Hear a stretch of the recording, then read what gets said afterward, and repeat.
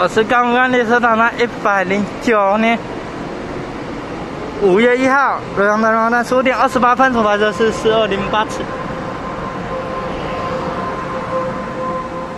经由沿线开往，我看错是四一九八次啊，经由沿线开往苏澳的区间特，一往百姓圈特在瑞芳站时，谢谢哥哥。